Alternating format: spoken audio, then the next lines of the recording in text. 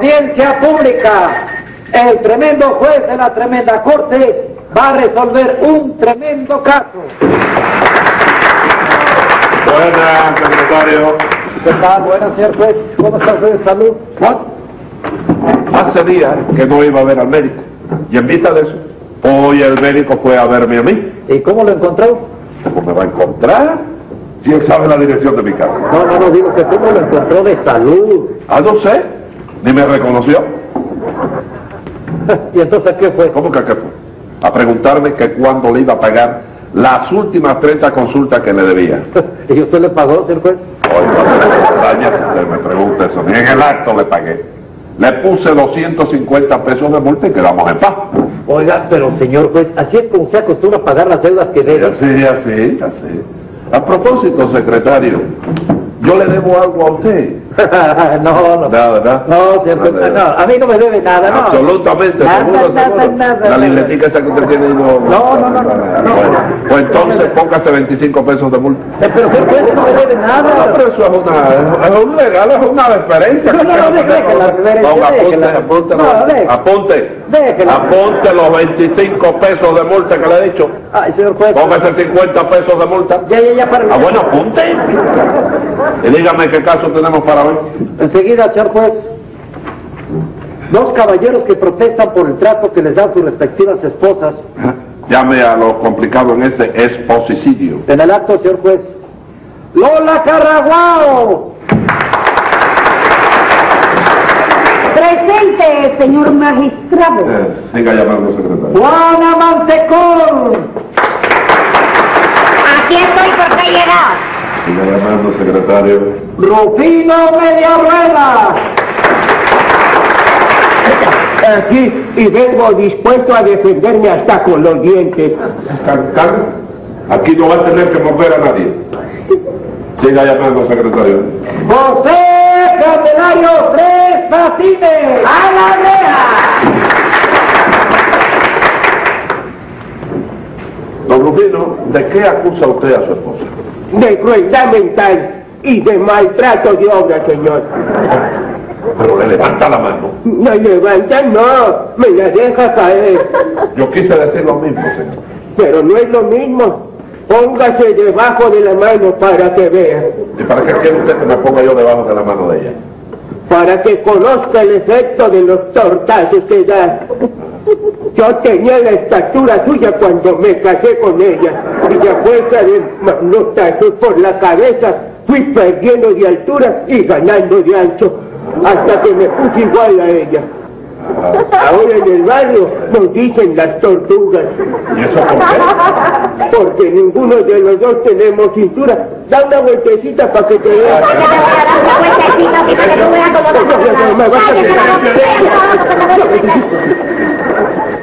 bien.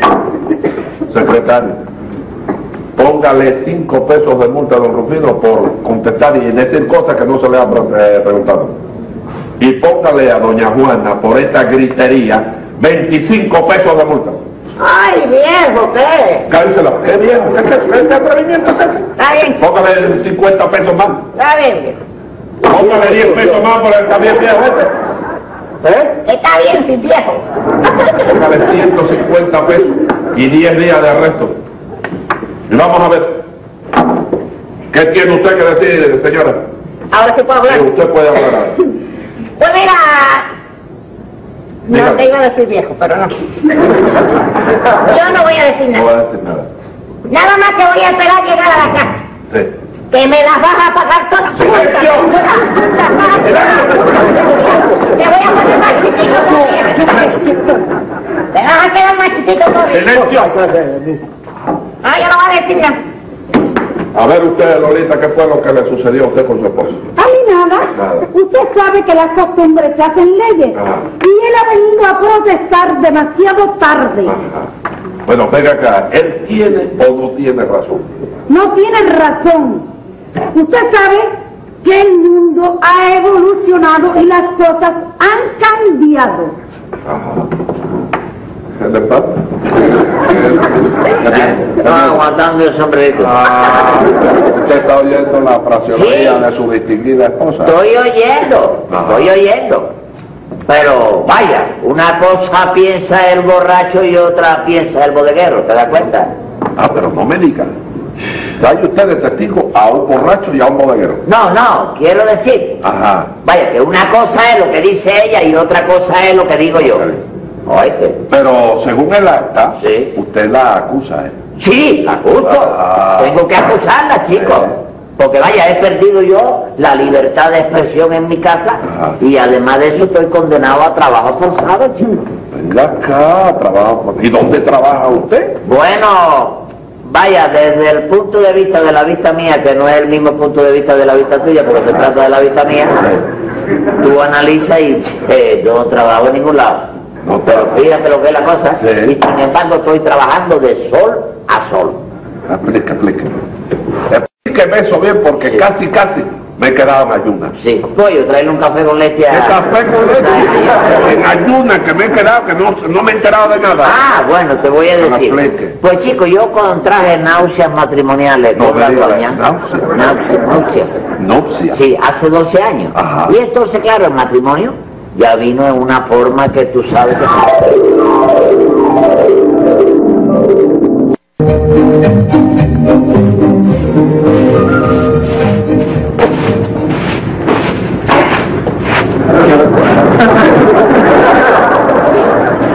Por mi madre, por mi madre, que si a mí me dicen esta cosa, a mí no me casan ni a tiro, ni a tiro me casan a mí. Esto es una cosa ¿De qué terrible. estás hablando tú? ¿Eh? ¿De qué estás hablando tú? No, no, estaba hablando, mi hija, estaba pensando en voz alta, ¿comprende? Sí. Algo dijiste que yo no estoy loca. Bueno, yo- la- ah, sí, que tenemos que comprar otra escoba, tú sabes, porque ya esta se está desflecando toda. No sé por qué, si todavía no tiene seis meses de comprada. Seis meses, mira, Sí. Está perfectamente todavía. Óyeme, ¿y tú a dónde vas? A donde me dé la gana. Está bien, perdóneme, perdóneme, yo creí que podía saberlo. Mira, lo que tienes que saber Sí. es todo lo que tienes que hacer Sí. en el tiempo que yo esté fuera de la casa. ¿Y a qué hora piensas regresar tú? A la hora que sea. Está bien, pero no se me demore ni un minuto más, ¿eh? Cállate ya, mira. Todavía tienes que acabar de limpiar la casa. Sí. Sazonar la carne, poner el arroz a la candela Sí. y lavar alguna ropita que hay por ahí sucita. Sí, eso es lo de siempre, lo que tengo que hacer todos los días, mi cariño. Todos los días. Ah, Dime una cosa, ¿qué hora es? Las nueve y media de la mañana. ¡Ay, Dios! Pero mira eso, si ya me tienen que estar esperando ya. Pero ¿quién te tiene que estar esperando a ti, chica? Pero tú no sabes que tengo que ir a los ejercicios. Sí. Darme un baño de vapor y masaje. Sí, ah, sí, perdóname, sí, no me acordaba. Y, ah, una cosita. Y si tengo tiempo, me voy a arreglar las uñas. sí, claro, claro, que la tienes toda deteriorada de tanto trabajar aquí en la casa. Mira, más vale que ni te conteste. Sí, sí, sigue. ¿Qué dijiste? No, te digo yo que sigue la misma frialdad de anoche. No te equivoques, no te equivoques. Está bien, sí. Ay, ay. Los solteros debían mirarse en este espejo. En este espejo y todavía, todavía hay quien hable de la felicidad del matrimonio, de la condición perfecta del hombre. Buenos días, vecinito. Ay, ¿qué pasa, don Rufi? ¿Qué ¿Está tal? hablando solo? Solo, ¿cómo no voy a hablar solo, viejo? Si en esta casa, óigame, yo soy el que yo estoy después del perro, estoy yo, chico. No te lo creo, no te lo creo. Siéntese, don Rufino, siéntese. Bueno, ¡Levántate, ponte a trabajar! ¿Qué pasó? ¿Qué El- pasó? El espíritu de esta mujer me persigue. No le digo, no me puedo ni sentar. Ay, mira, don Rufino, yo aquí estoy hecho un esclavo, Yo soy el que tengo que barrer, tengo que sacudir, arreglar las camas, hacer la comida, fregar los platos y lavar la ropa y hasta coser alguna ropa. No siga, no siga. Pero ven acá. ¿Tú eres hombre o eres ratón? Creo que ratón. porque me gusta el queso con delirio, de verdad, de verdad. Pues tienes que revirarte y defender tu condición de hombre. Que eres tú el que lleva los pantalones. Que llevo los pantalones. Sí. Eh, eh, ni a la lavandería los rufinos. Pues en mi casa, Juanita lo tiene que hacer todo. Todo, todo, don Rufino, pero todo, todo. Lo que se dice todo. Bueno, bueno, bueno. Es que yo soy el hombre.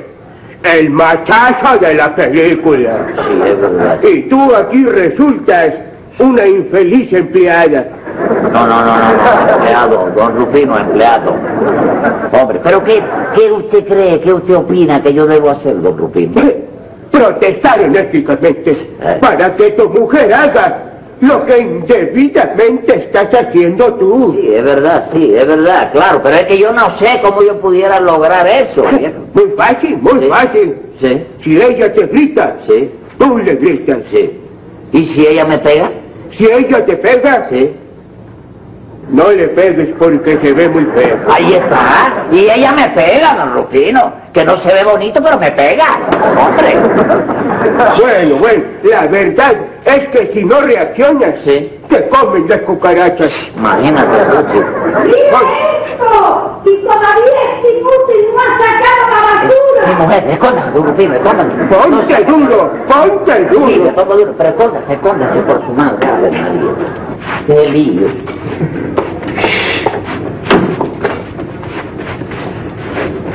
Oye, ¿Eh? por Sí. perdí el turno en el gimnasio. Sí, ya sé, ya sé. ¿Y qué pasa que no has sacado la basura?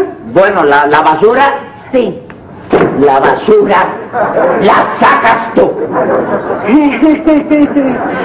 ¿Eso se te fue o lo dijiste? No, no, no, te lo dije, te lo dije. Y tú eres la que tienes que barrer. Y tienes que cocinar, lavar la ropa y coser la ropa que se rompe también. ¿Qué te parece? ¿Qué te parece? Mira, lo que yo puedo hacer Sí. es romperte la cabeza de un trastazo. Vamos, vamos. ¿Lo quieres ver? Oye, ¿Lo oye, quieres Un ver? momento. No me ves quieres nada. Ah, bueno. ¡Oh, nada, chica! ¡Ya, no! ¡Ay, voy de esta casa! ¡Me voy de esta casa, me voy de esta casa! Me voy. Todo me lo, me lo voy a dar, chica. ¿Qué dice que no te he entendido No, no, no, no, no, no, no, y me voy, y me voy. Habla claro para entender. No, no, no. Háblame claro para entenderte. Y me voy, ya está, ya ¿Qué está. Y me llevo todo lo mío. Olvídalo. Sí. En esta casa todo está a mi nombre. ¿Quién te dijo? No, mi vida, no. El teléfono, el recibo de la renta y el de la electricidad vienen a mi nombre. Sí. Pues síguelo pagando. Yo no me voy a enojar por eso. Inútil. Ay, qué- ¿Qué tal me poté, eh? A tu lado me llamo. Eres un ser despreciable. Eh. Debías de matarte. ¿Matarme? ¿Y qué se hace esta pobre mujer solita con todo lo que hay que trabajar aquí en la casa, Rufino? ¿Quieres aprender?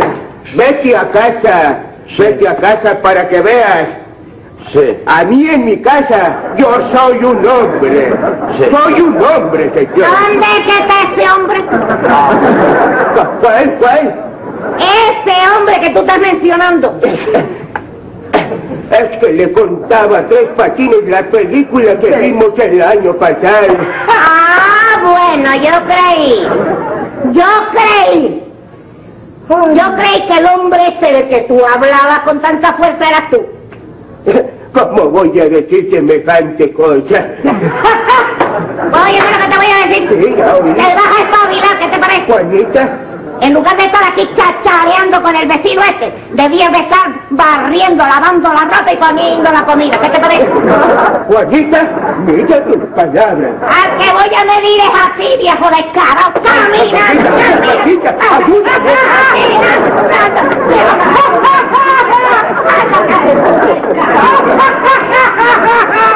¡Ay!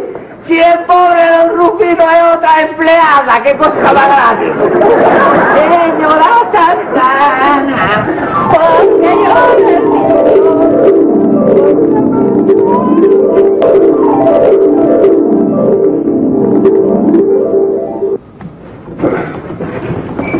Señor juez, Dígame. su señora está llamando por teléfono y quiere que conteste. Dígale usted a mi señora que no puedo ir a contestar ahora que estoy en mi trabajo, que me deje tranquilo. Bien. Retírese. ¿Y usted qué fin persigue? ¿Quiere divorciarse?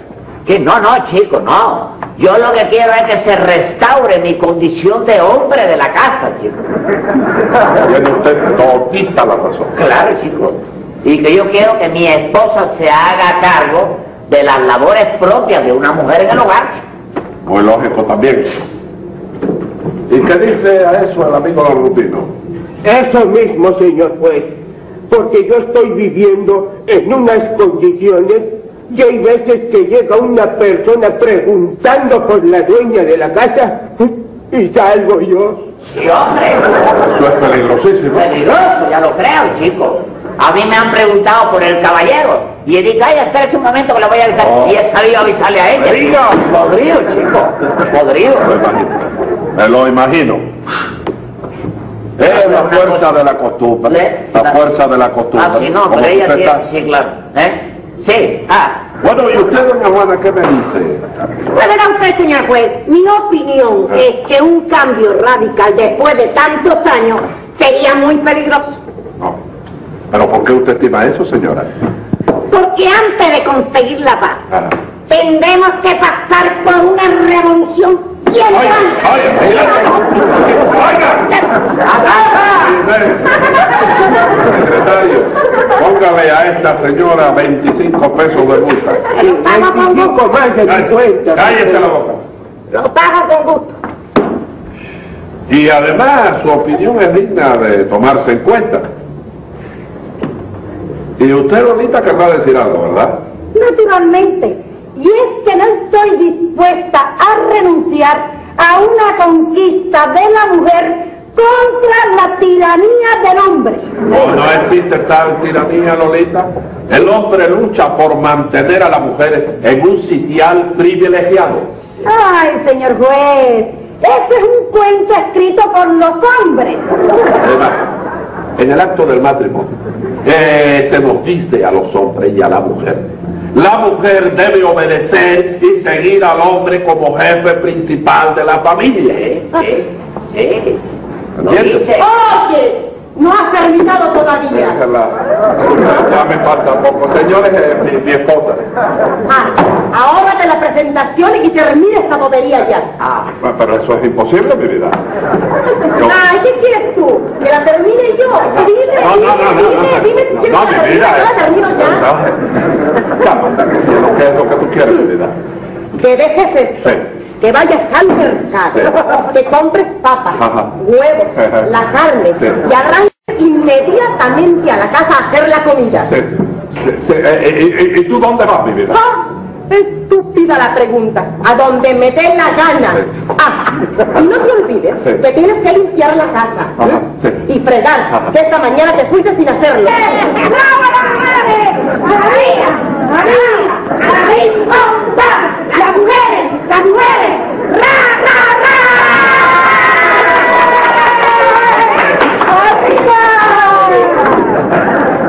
Señores, la comunidad se desintegra. No, señor, se desintegra. Ah, tú estás podrido también. chico. Silencio. Estás podrido. Tome nota, secretario, que voy a dictar sentencia. Venga la sentencia. Voy a acabar enseguida y salir rumbo al mercado, porque mi esposa ha ordenado que prepare la comida. Así es, que no habrá sanciones. Y ustedes vayan sabiendo que hay medio mundo viviendo en las mismas condiciones. ¡Oh, grande!